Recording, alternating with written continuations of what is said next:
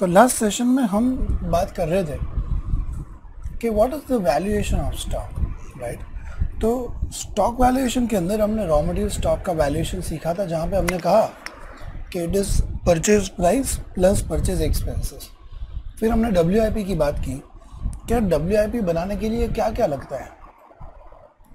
तो WIP बनाने के लिए आ, बहुत सिंपल सी चीज़ है कि आपको मटेरियल लगेगा WIP का मतलब work in progress work in progress का मतलब production has started and if production has started it can not start without labour my dear friends अगर लेबर ना होता तो शायद वो कभी ज़िंदगी में WIP ना बनता।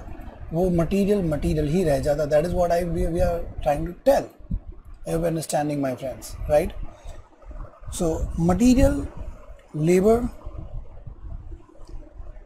expense की हमने बात की कि वो स्पेशल मशीन लाए थे और ऑफकोर्स अगर वर्कर काम कर रहे होंगे तो इलेक्ट्रिसिटी वगैरह चल रहा होगा, जैसे अभी भी देखा हुआ कि जब भी मैं ये सेशन ले रहा हूँ, भले वीडियो में ले रहा हूँ तो हम ये कह सकते हैं कि कॉशीट नाम का ये chapter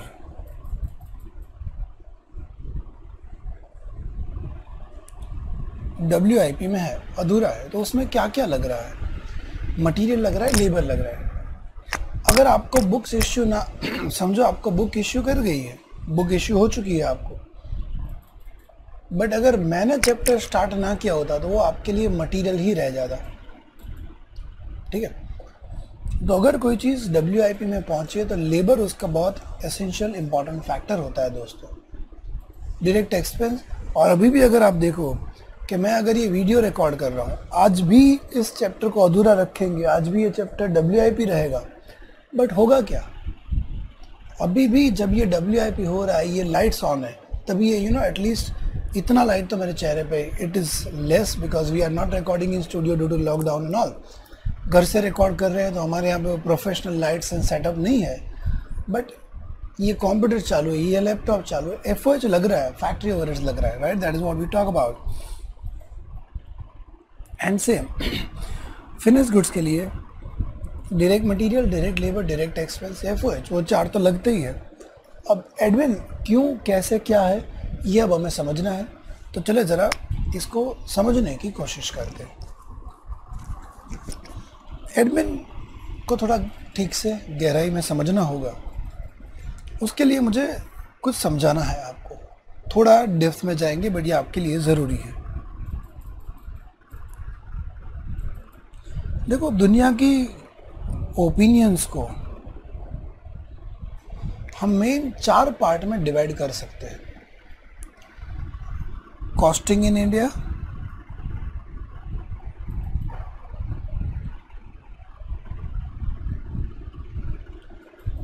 finance in India.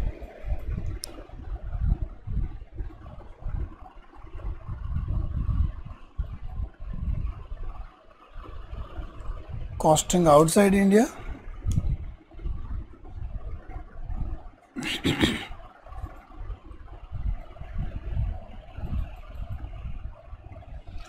and finance outside India. Right? So, costing in India, finance in India, costing outside India and then finance outside India जब हम आउटसाइड इंडिया कहते हैं actually it means a very big group of countries other than India India को छोड़ के जितने सारे countries है, वो सब यहाँ पे एक जगह पे आ जाते हैं that is costing outside India and finance outside India अब इन चार में से तीन मतलब हम कहते हैं तीन बट एक्चुअली बहुत बड़ा बंच होगा, क्योंकि outside India include so many countries इन सब का एक ही कहना था कि admin is not required for making finish goods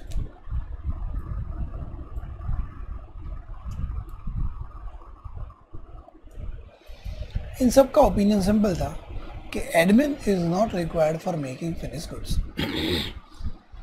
कुछ एग्जांपल्स मैं आपको दूँ, इन लॉ का लॉजिक क्या था इसके लिए? चलो हम इंडियन कंपनी रिलायंस का एग्ज़ाम्पल लें।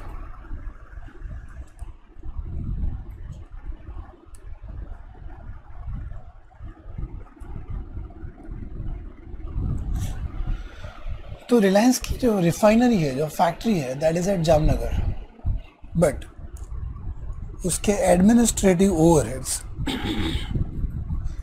जैसे उसकी head office Mukesh Ambani sir उनके डायरेक्टर्स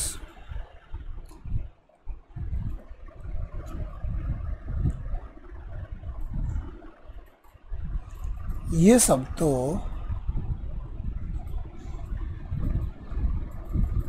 मुंबई में बैठते हैं। Yes oh yes they are all at Mumbai so अब पॉइंट ये है कि मुंबई की head office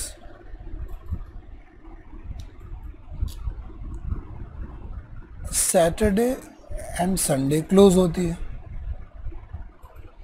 क्या इसकी वजह से यहाँ पे फैक्ट्री में पेट्रोल और डीजल का प्रोडक्शन सैटरडे संडे अटक जाता है क्या? ऑब्वियसली नो राइट डायरेक्टर कहीं पे भी हो, मुकेश अंबानी साहब अपने बेटे बेटी की शादी में बिज़ी हो तो भी क्या फ़र्क पड़ता है? जामनगर में तो फैक्ट्री चलती ही रहती है। प्रोडक्शन 24 फोर बाई सेवन दोस्तों होता रहता है। तो इस इस बात से हम कुछ पॉइंट्स जानना चाहते हैं और वो पॉइंट्स ये है कि एडमिनिस्ट्रेटिव ओवरहेड्स गुड्स बनाने के लिए प्रोड्यूस करने के लिए नहीं लगता है। ये इन तीनों का ओपिनियन था। Finance in India costing outside India and finance outside India मतलब हमने तो यहाँ पे लिखा है एडमिन ओवरहेड्स बट फिनेंस इसको नहीं लिखेगा। मैं पहले इसका एक प्रूफ दे देता हूँ। चलो हम एक अकाउंट बनाते हैं फिनांस के हिसाब से फिनांस के हिसाब से।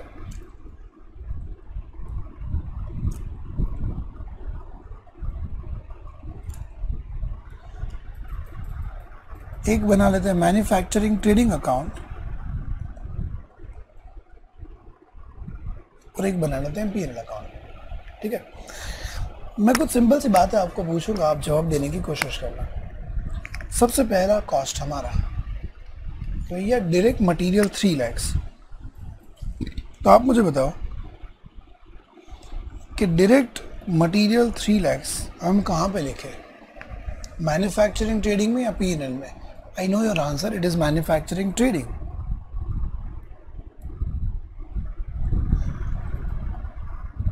तो यहाँ पे लिख लेते हैं direct materials three lakhs direct labour वापस मैन्युफैक्चरिंग में.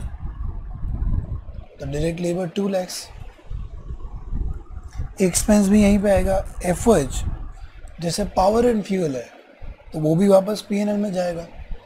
अब आप बताओ बेटा, कि directors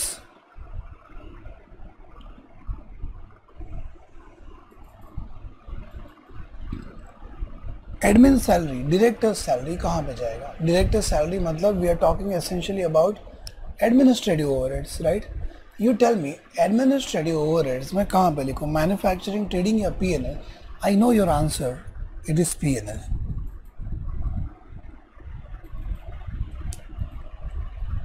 and of course selling and distribution salary भी पी में जाएगा। ठीक है बेटा?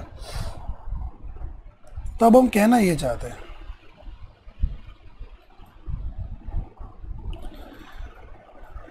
इतनी मेहनत करके आपने बहुत सारा प्रोडक्शन किया, बहुत सारे यूनिट्स बनाए सुपर बट एक भी यूनिट बिका नहीं not a single unit got sold अब क्या करोगे?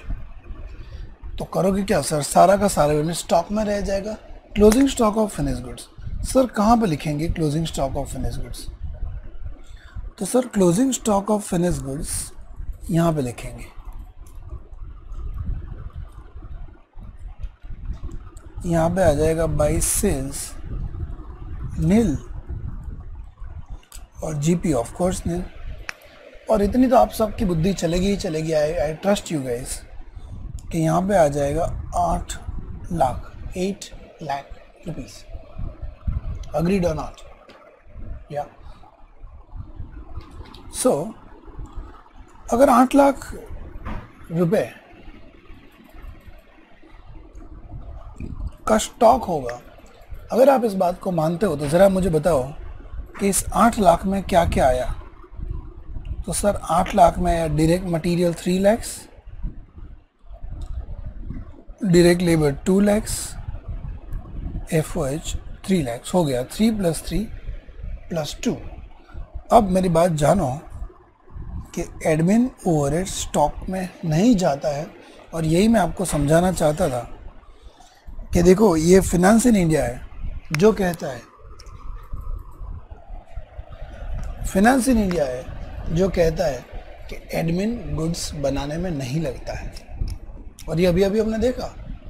अगर फिनेंस के हिसाब से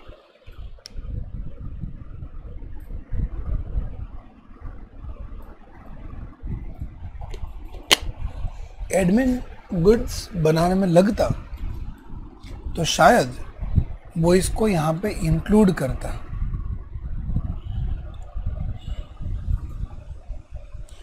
और अगर इंक्लूड करता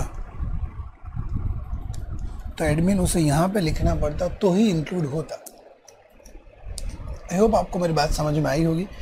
अगर कुछ कन्फ्यूज़न है, वैसे I am trying to keep it really simple but if at all there is any confusion uh, don't worry you are having this video so you can you know take it back back forward back forward you can view it as many times as you can and you'll be able to do that right okay my friends now ये मैंने आपको बताया finance in India का opinion now what we are about to learn Is costing in India क्योंकि हम तो costing में हैं। ये तो ठीक है, हमने फिनेंस का ओपिनियन जान लिया, समझ लिया बट हमारे काम का मेन है फिनेंस ठीक है बेटा? सो हाँ सॉरी हमारे काम का काम है मेन काम है कॉस्टिंग का। कॉस्टिंग क्या कहता है? कॉस्टिंग कहता है हाँ इसमें भी दो ओपिनियन है।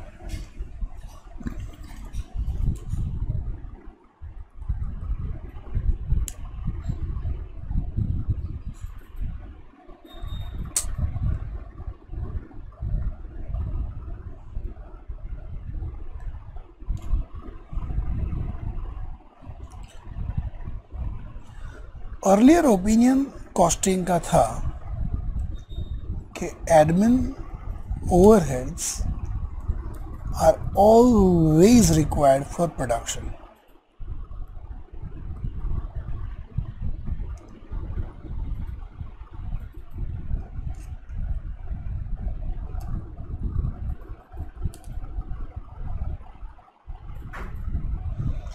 क्या ओपिनियन था सर कि admin overheads are always required for production और कॉस्टिंग तो यहाँ तक कहता था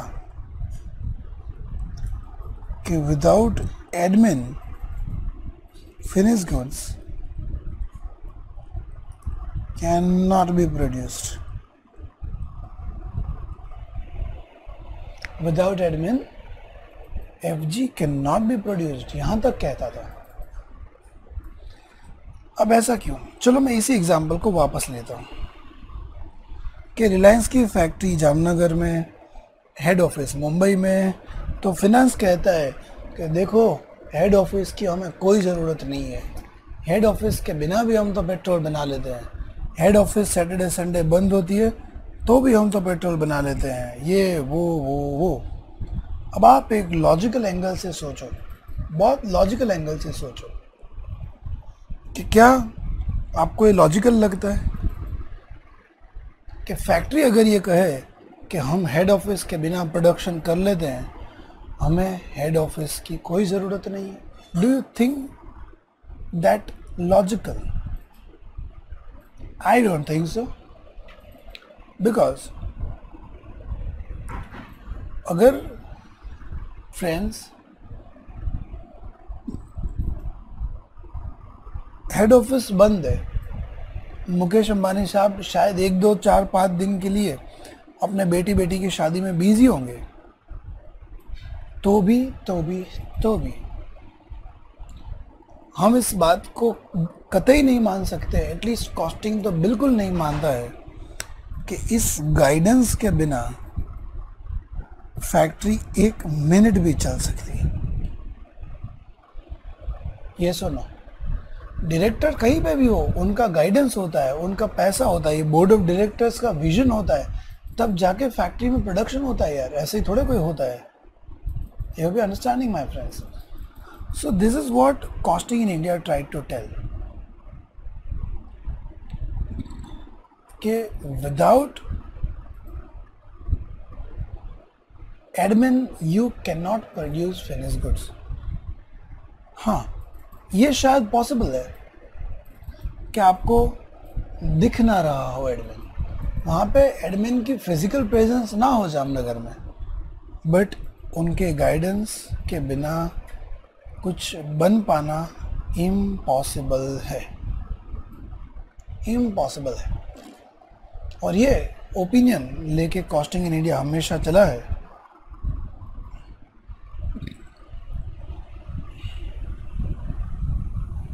और इसीलिए कॉस्टिंग इन इंडिया कहता है कि without admin F G can not be produced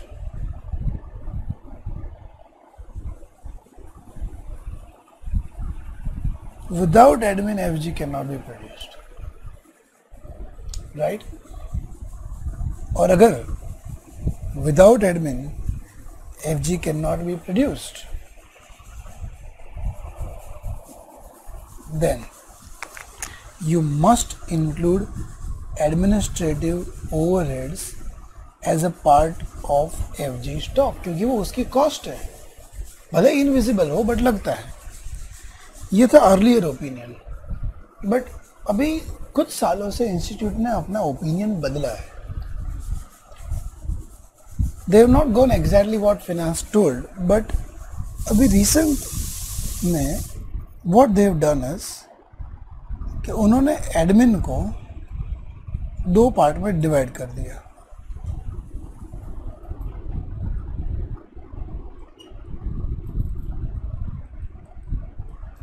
One is related to production and one is general. ये उनका लेटेस्ट ओपिनियन है।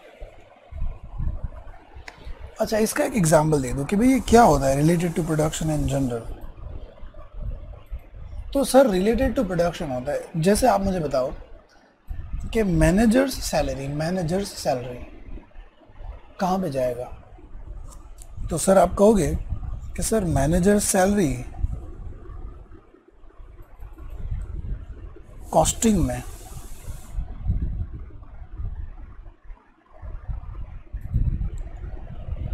एडमिन ओवरहेड्स में ज़्यादा है। Right manager salary is part of administrative overheads ठीक है? So now if it is a part of administrative overheads manager salary but अगर वो मैनेजर फैक्ट्री मैनेजर हो तो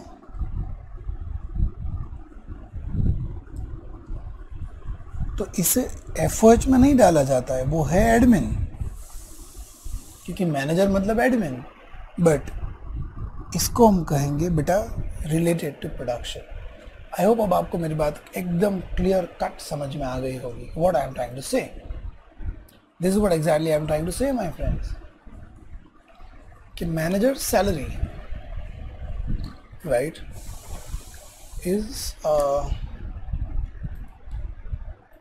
is like this manager salary जब आप कहते हो तो manager salary is admin only but if it is a factory manager salary then it will be going to administrative overheads I hope you understand this right my friends and अगर accounting department का salary है even directors salary है that is what as per its latest opinion costing in India is classifying under general तो अभी जो उन्होंने latest opinion अपना कहा है, उसके हिसाब से, कि जो रिलेटेड टू प्रोडक्शन है admin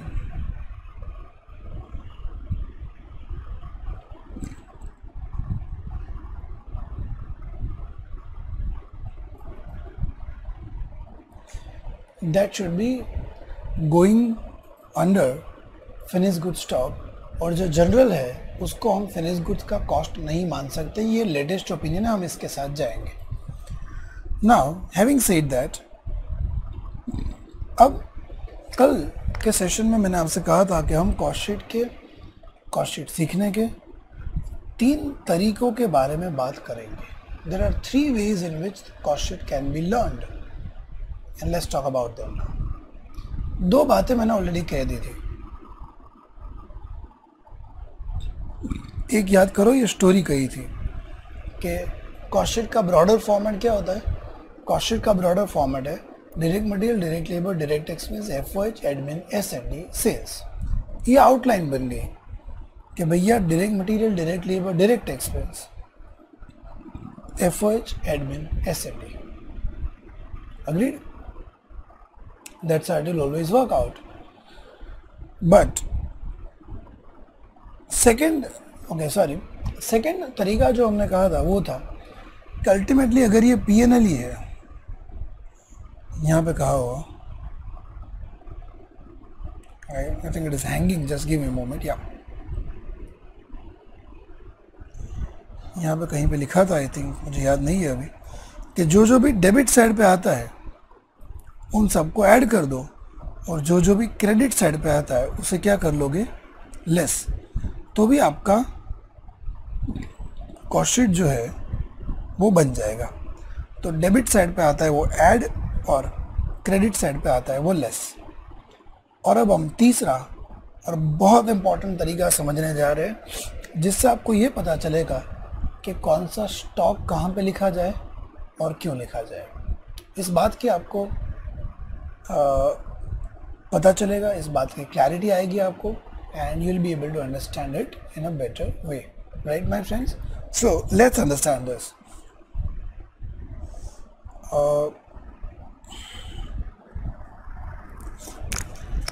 सुनो बेटा, हमने अकाउंट फॉर्म में यहाँ पे समझा कि closing stock of finish goods में आठ लाख आएगा। आठ लाख में क्या गया? तो जो उसकी डेबिट साइड पे आता है वो। अच्छा यही मैंने यहाँ पे स्टेटमेंट फॉर्म में बनाना चाहूँ। तो this plus this plus this plus this तो ये आ जाएगा नाइन लैक्स अच्छा आप सिंपल बात, बहुत सिंपल कॉमन सेंस की बात बताओ यार। कि जब अच्छा इसके बाद मैं करूँगा स्टेटमेंट फॉर्म है, ये अकाउंट फॉर्म है, ये स्टेटमेंट फॉर्म में, इसी चीज़ को स्टेटमेंट फॉर्म में यहाँ पे कन्वर्ट कर रहे हैं। तो माइनस करेंगे closing stock of finish goods nine lakhs right और ये आपका आ जाएगा कॉस्ट ऑफ़ गुड सोल्ड नील और वो नीली आना चाहिए क्योंकि हमारे एग्ज़ाम्पल के हिसाब से हमने एक भी रुपए का गुड्स बेचा नहीं था। ठीक है बेटा? Now, having said that, having said that, having said that,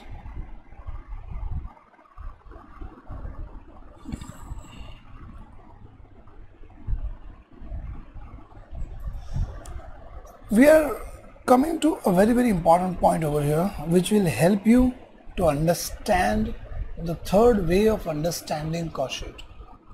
तो आप मुझे सिंपल बात बताओ बेटा कि इस 9 लाख में इस स्टॉक में या तो ये टोटल में चलो ना सिंपल बात करो ये टोटल में क्या क्या इंक्लूडेड है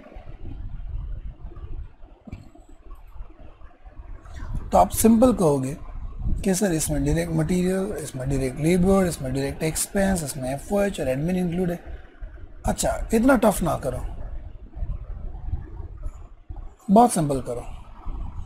मैं कहता हूँ कि इस टोटल नाइन लाख में जो जो उसके ऊपर लिखा हुआ है ना, वो इंक्लूड है। ऑफ़ कोर्स अगर आप टोटल करो, देखो, ऐसे मैं टोटल करूँ। Two plus three plus five तो ये टेन जो उसके ऊपर होता है, वही तो इंक्लूड होता है ना यार टोटल में। सो माई डियर फ्रेंड्स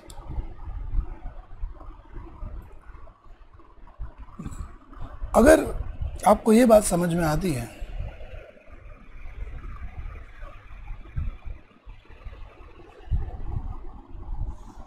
कि टोटल में अगर वही इंक्लूड होता है जो ऊपर लिखा हो, फिर से ये सेंटेंस बहुत इंपॉर्टेंट है,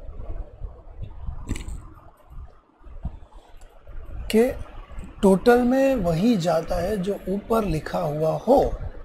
अब इसे उल्टा करके हम क्वेश्चन फटाक से समझ लेंगे कि कोई भी स्टॉक के ऊपर वही चीज़ लिखो जो उसमें जानी चाहिए।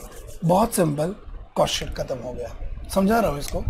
फिर से, जैसे मैं क्या कह रहा हूँ बेटा? कि अगर आपको लगता है कि सर पी चीज़ पी में चार चीज़ें इंक्लूड होगी तो ये चार चीज़ें लिखो। डब्ल्यू आई पी स्टॉक के ऊपर। I hope you are getting my format right admin I mean F G में पाँच चीज़ें जाती है।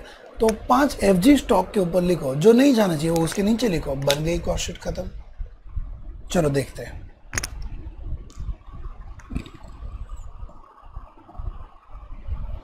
ये मेरा फॉर्मेट है।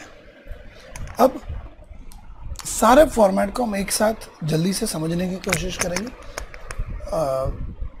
I hope you'll understand this and I be trying my level best right तो बेटा direct material direct labour direct expense उसका टोटल आ गया आपका prime cost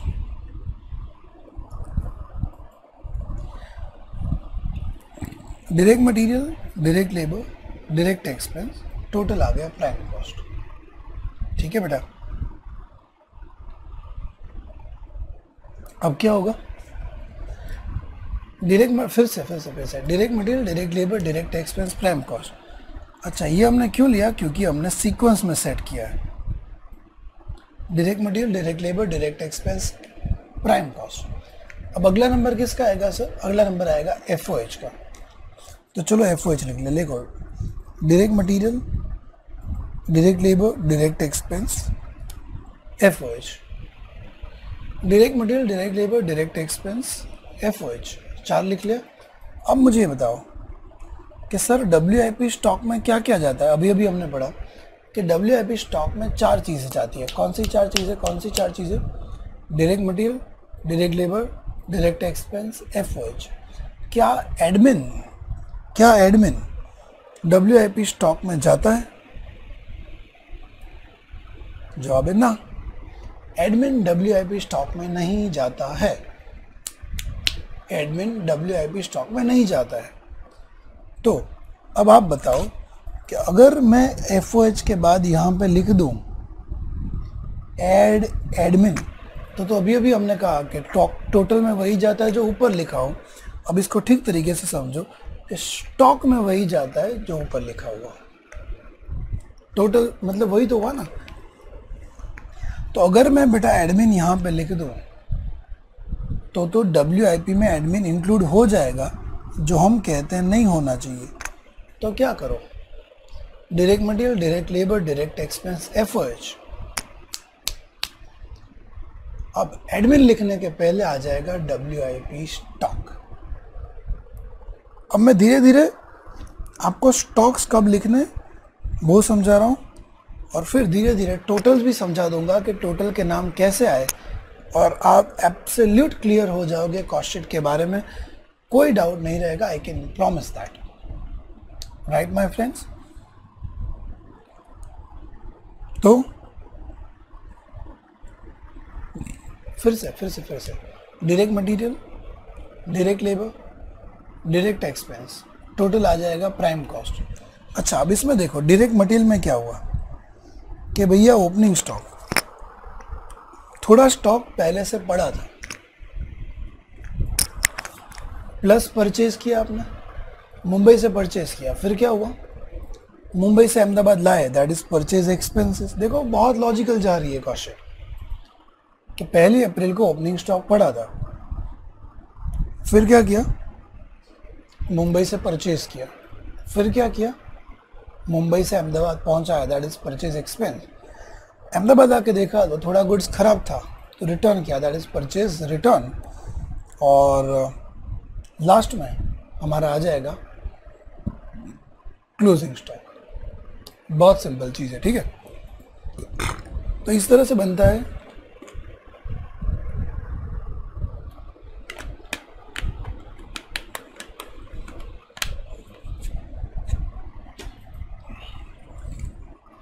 direct material direct labour direct expense prime cost F O H F O H आ गया। अब क्या होगा? पहले एडमिन के पहले डब्ल्यू आई बी तो अभी अभी जवाब मिला, पहले डब्ल्यू आई बी क्योंकि स्टॉक में वही जाता है जो ऊपर लिखा हुआ।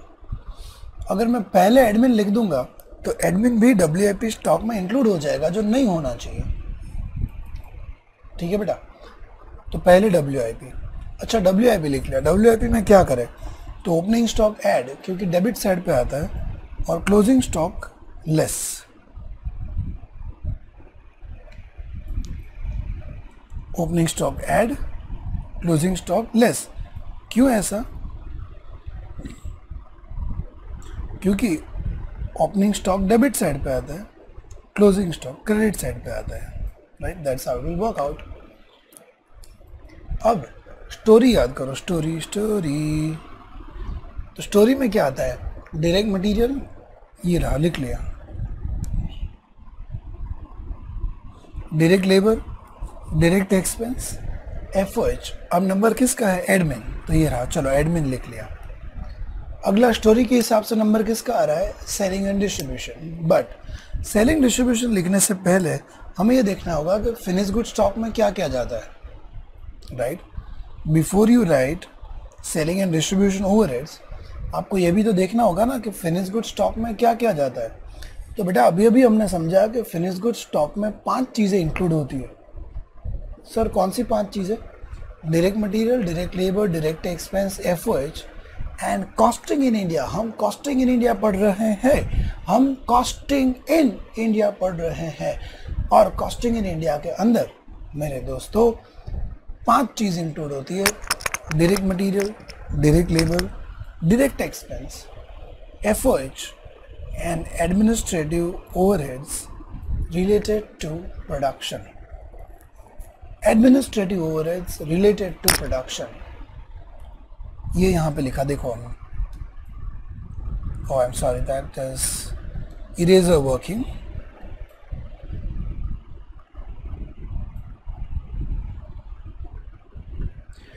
administrative overheads related to production क्योंकि स्टॉक में वही जाता है जो ऊपर लिखा हुआ और अगर हम चाहते हैं कि एफजी स्टॉक में ये इंक्लूड हो तो आपको उसे ऊपर लिखना ही होगा मेरे दोस्तों।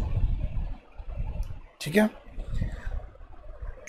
फिर क्या एसएनडी जाना चाहिए? नहीं जाना चाहिए। तो पहले स्टॉक के पहले एसएनडी तो पहले स्टॉक लिख लिया।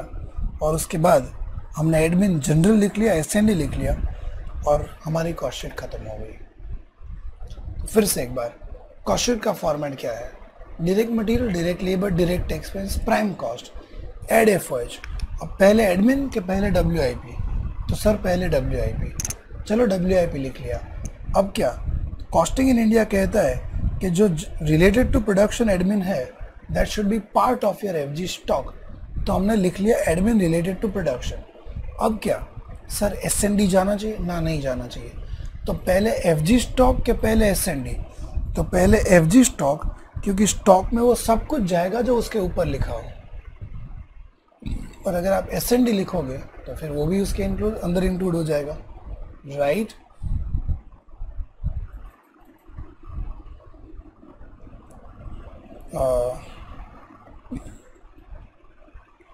So admin and S N D stock के बाद एफ़ जी स्टॉक के बाद और ऑलमोस्ट फॉर्मेट ख़त्म हो गया।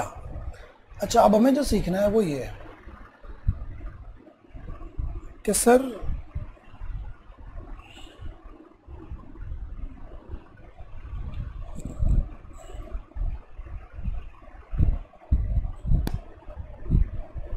ये जो टोटल आपने ब्लू इंक से लिखे हैं वो टोटल के नाम हमें याद रखवा दो, ना तो हमें एग्जैक्ट समझ में आ जाए। ठीक है? हम एक काम करते हैं, हम एक बहुत सिंपल सी चीज़ करते हैं।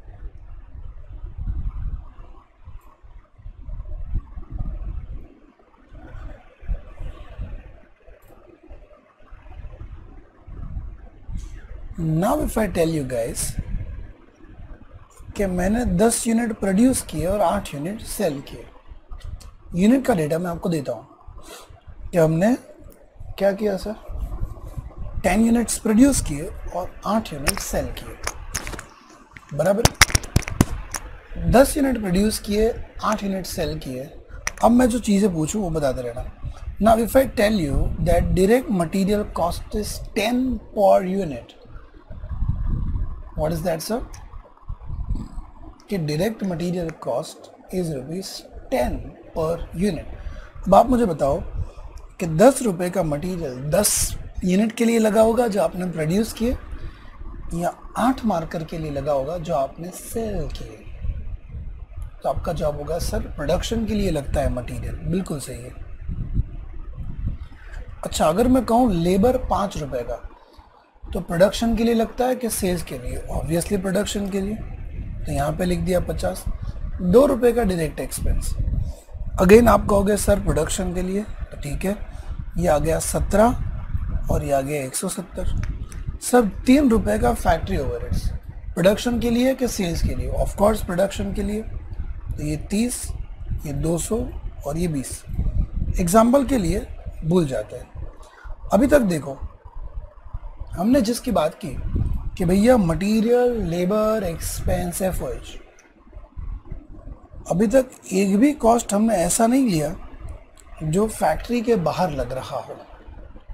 ये सारी cost material labour expense F O H सब कुछ हमने फैक्ट्री के रिलेटेड लिखा है और इसीलिए इस कॉस्ट को कहते हैं ग्रॉस फैक्ट्री कॉस्ट और उसमें अगर आप पी एडजस्ट कर लो तो ये आपको मिल जाता है नेट फैक्ट्री कॉस्ट और works cost I hope that's easy for you guys to understand yes or yes right, my friends? So, that gives me net factory cost और इसीलिए हम इसको कहते हैं फैक्ट्री कॉस्ट वर्क्स कॉस्ट तो 20 और 200 अच्छा अगर मैं कहूँ कि एडमिनिस्ट्रेटिव ओवरहेड्स है फाइव रुपीज़ पर यूनिट ठीक है? तो इससे भी अगर वो रिलेटेड टू प्रोडक्शन है तो आप उसे 10 से मल्टीप्लाई करोगे, क्योंकि कहा ही गया है रिलेटेड टू प्रोडक्शन सो ये आएगा 25 एंड 250 25 एंड 250 राइट अभी तक देखो, अगर आपने सारी कॉस्ट जो ली है, वो प्रोड्यूस्ड क्वांटिटी के लिए लिया है। प्रोडक्शन क्वांटिटी के लिए लिया है।